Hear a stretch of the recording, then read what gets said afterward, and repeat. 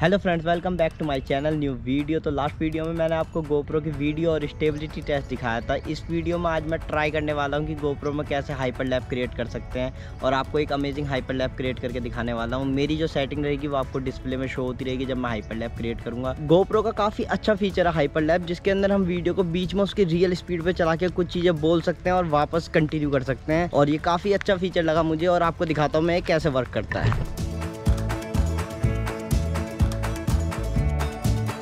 तो है ना ये काफ़ी ज़्यादा अमेजिंग फीचर काफ़ी ज़्यादा हेल्प करता है व्लॉगिंग में। के अलावा हम वीडियो को वापस कंटिन्यू कर सकते हैं बीच बीच में अपनी ऑडियो डाल के हमें कुछ समझाना हो या कुछ भी करना हो, उसके अलावा हम बीच बीच में वापस अपनी ऑडियो डाल के वीडियो को हम कंटिन्यू कर सकते हैं।